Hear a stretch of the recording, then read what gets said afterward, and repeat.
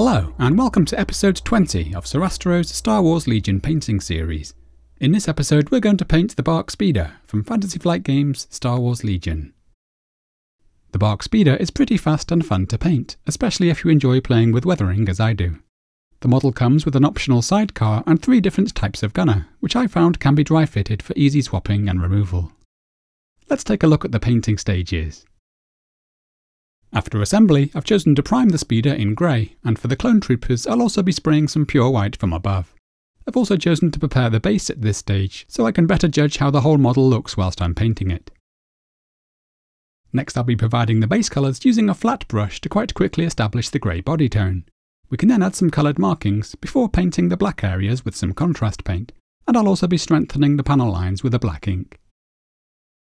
We can then finish things off by providing some dirty streaks and weathering, along with some optional highlights for the metalwork.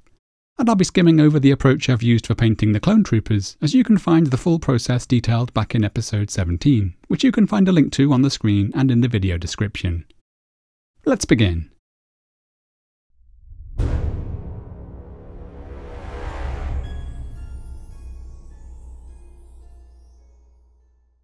To help assemble the speeder, I'd simply suggest following the detailed PDF guide published by Fantasy Flight Games, which you'll find a link to on the screen and in the video description. Here I'm just dry fitting the V-shaped support and the sidecar to see how well things hold together. I also chose not to glue the two halves of the gunner to allow me to swap the top half out as needed. I'm now priming the separate elements in grey using Badger's Stynylrez Grey Primer. And you can see I've also sprayed the clone troopers in white from above, just as I did in the clone trooper episode. I've also primed the base in black, and I'm now painting over the firing arcs with some XV88. After dry fitting the flight stand to the speeder, I'm now gluing the stand to the base with some superglue, ensuring that I'm happy with the placement and orientation of the speeder. I'm now providing some scenic basing as described in the earlier episodes, so here I'm applying some brown earth basing paste by Vallejo, taking care to avoid the firing arcs.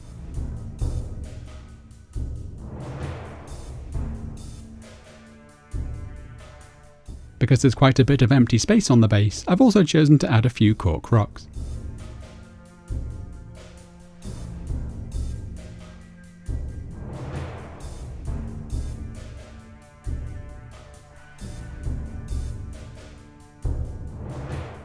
Convenience, you can also use products like Army Painter's Battlefield rocks if you like.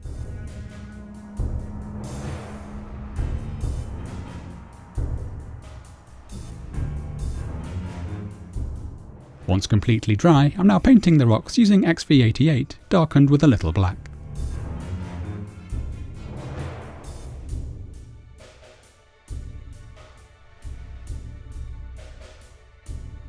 I'm now going to mix in some Zamesi Desert and brush on a quick highlight.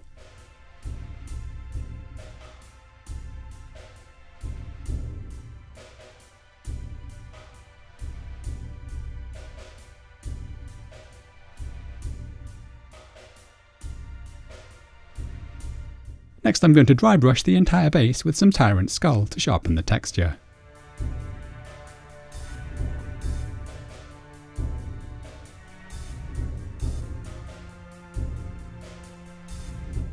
I'm now going to shade the base using a mix of Agrax Earthshade, Fuegan Orange and Lahmian Medium, as detailed back in episode 15.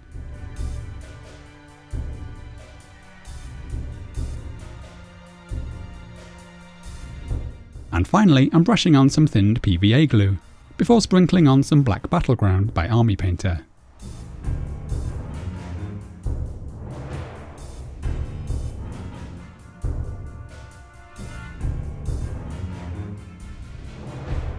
With that done, we're ready to begin painting the speeders.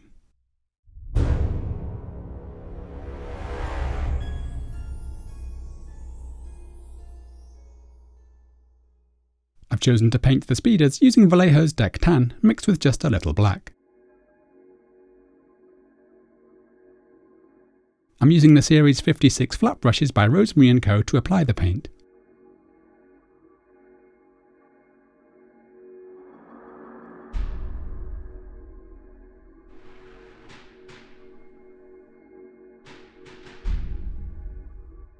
You can see I'm applying this quite quickly, and by dragging the flat of the brush across the surface, we're able to mostly preserve the darker grey tone in the panel lines.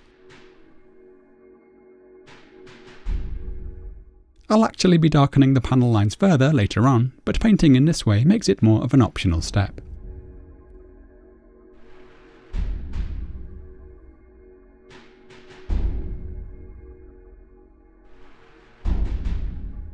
I'm also painting the parts of the speedo where I'll later be applying some black Templar contrast colour, such as this V-shaped support and the blasters.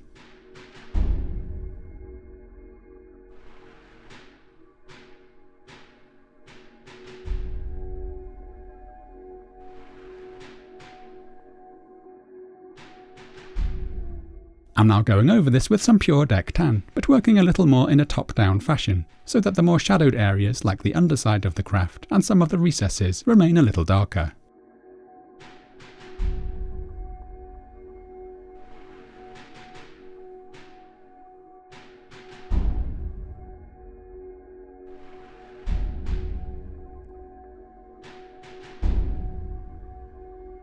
We can begin to see some subtle gradients starting to appear.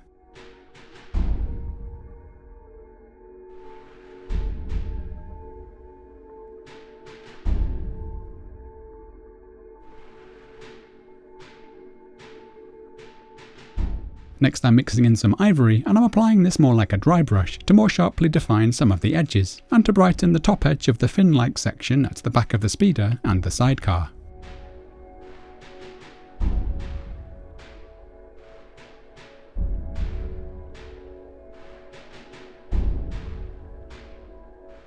Here you can see the kind of gentle gradient I'm looking for.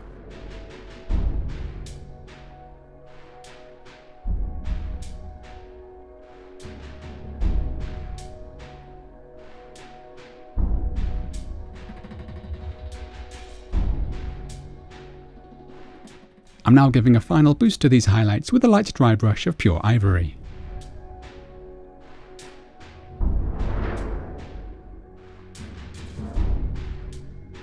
For a quicker tabletop standard, you could of course just use a single flat colour, such as the pure deck tan, for all of this bodywork if you like.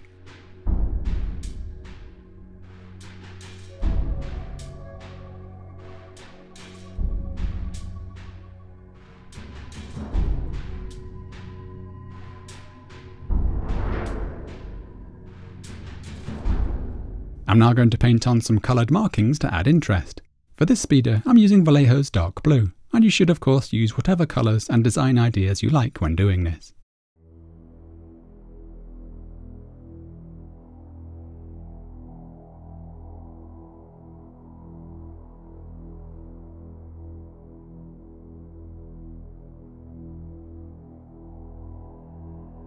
I'm loosely basing these markings on the speeders from Star Wars Battlefront 2. Here you can see I'm deliberately leaving some unpainted patches to create a chipped look.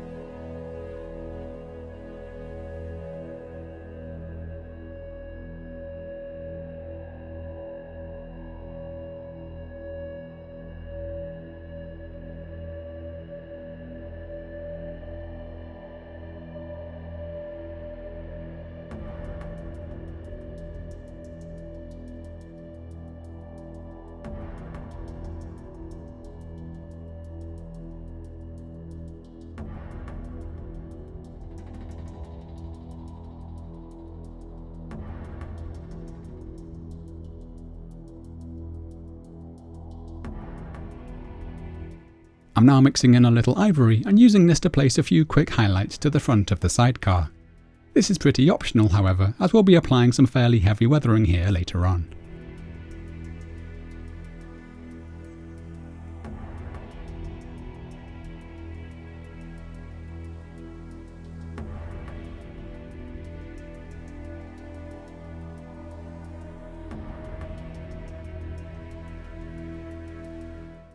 My second speeder, I'm using Citadel's Khorne Red mixed with a little black.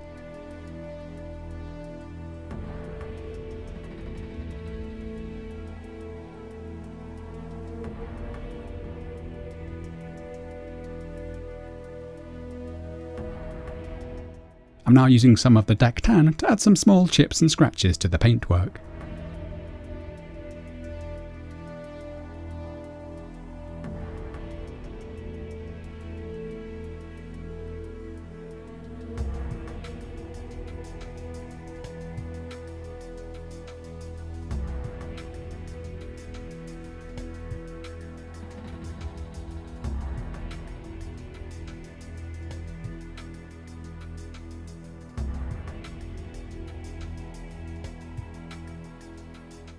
With that done, I'm now going to paint all of the areas of non-panel work using Black Templar. I'm thinning this slightly with a little of the contrast medium and perhaps an optional touch of flow enhancer. You can see I'm using this for all of the weapons, engine parts, pedals, etc.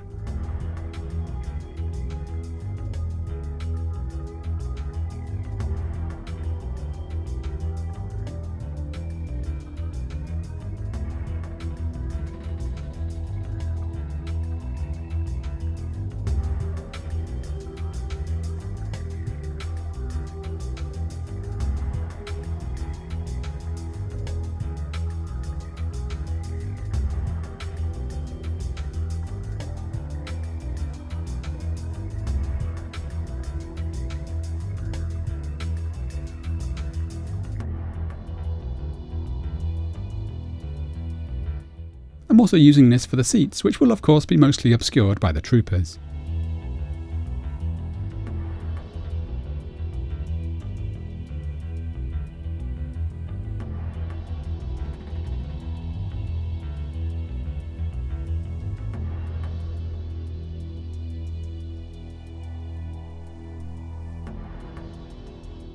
Finally, I've chosen to darken the main panel lines using some black ink, which I'm thinning with a little water mixed with flow enhancer. You don't have to use ink for this of course, black paint would be fine, or even just some Nuln Oil or black Templar if you like.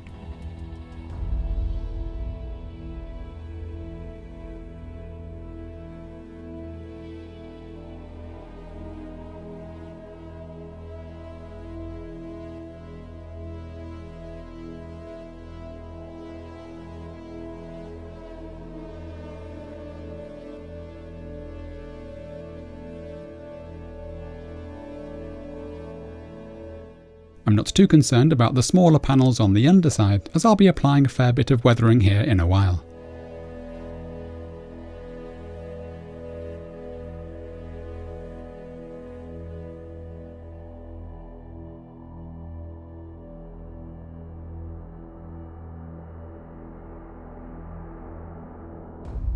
We're now ready to add some finishing touches.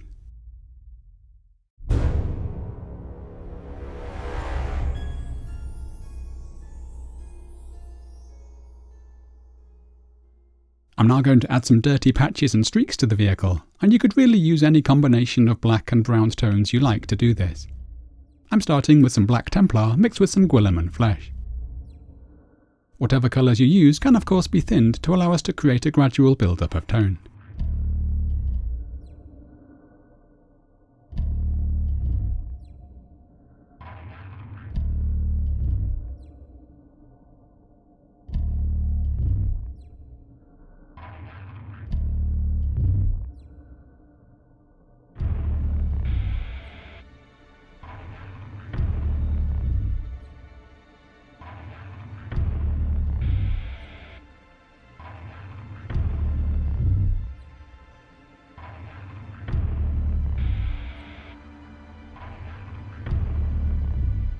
I'm now using Vallejo's black paint to add some darker and more concentrated streaks.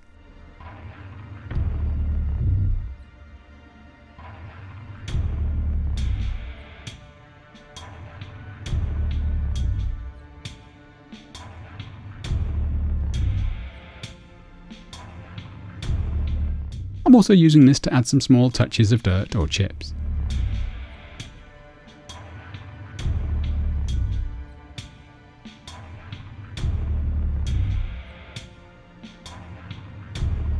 Add some further variety, I'm now using some Typhus Corrosion, which I'm mixing with a little black and thinning down a fair bit. This adds a slightly gritty texture to the weathering.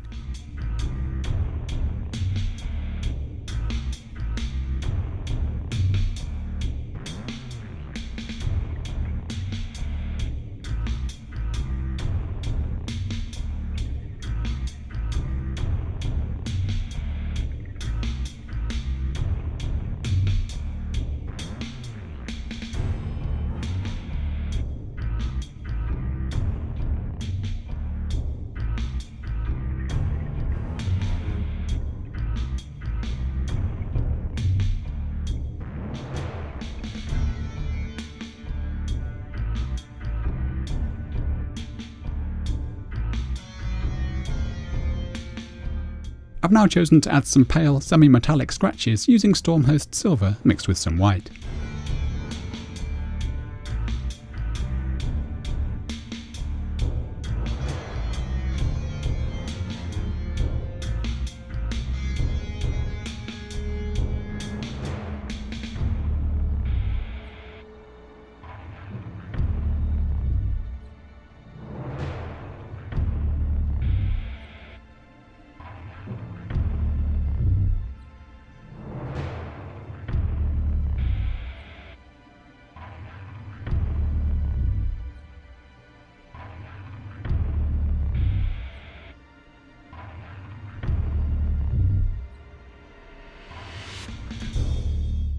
I'll be pushing the weathering a little further in a while. Now I'm going to add some highlights to the black areas, and I like to mix a bluish grayscale to do this, using black, white and dark sea blue.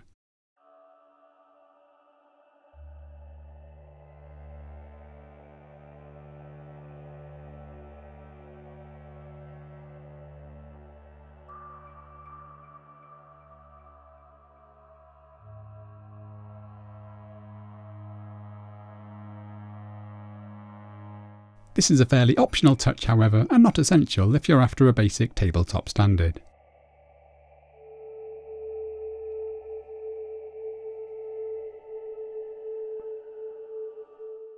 I'm adding some ivory for my brightest highlights.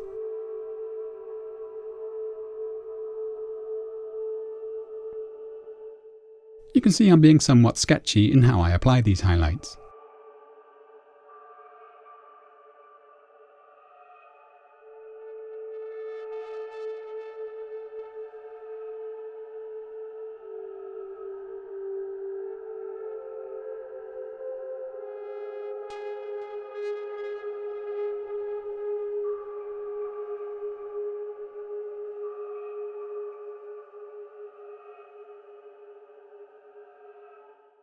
To paint the clone troopers, I'm using the exact same steps as detailed in episode 17, which in summary means painting the black details. Before shading the model, using a thinned mix of the Apothecary White and Black Templar contrast colours. And then adding a few highlights with some pale greys.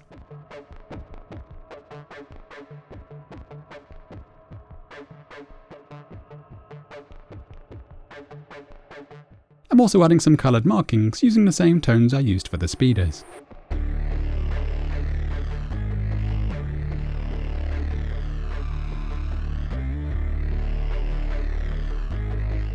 Next I'm highlighting the guns as I did for those on the vehicle.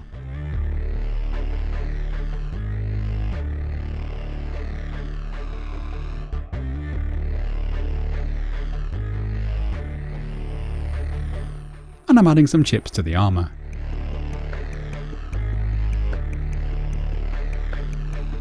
I'm now gluing the troopers into place with some super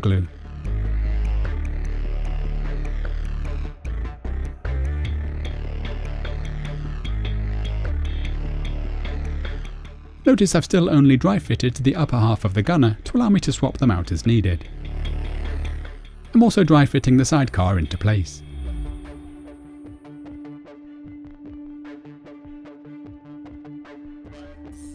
I'm now returning to add some final touches of weathering.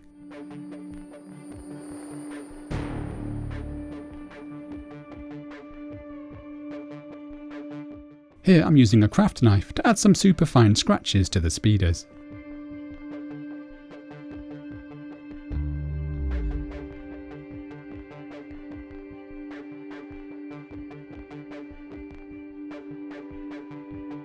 I'm now using some black mixed with storm vermin fur and using an old brush to stipple this onto the bodywork to build up some additional depth.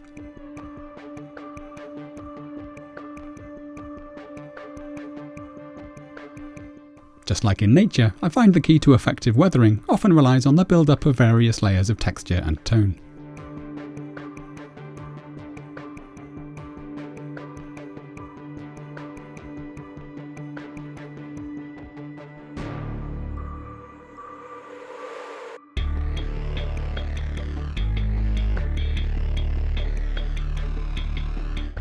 Also now going to add a layer of dusty weathering by dry brushing on some XV88.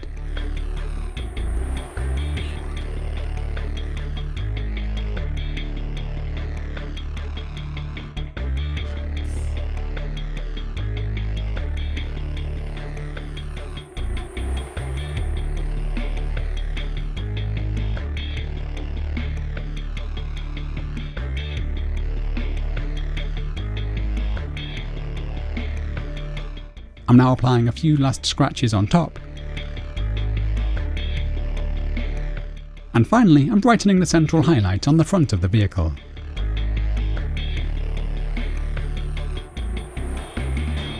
And this completes the BARC Speeder. Thank you so much for watching. I hope you've enjoyed the episode. Do feel free to subscribe to the channel and hit the notification icon to ensure you don't miss future episodes. Join me again soon as we continue painting miniatures from Star Wars Legion. Happy painting!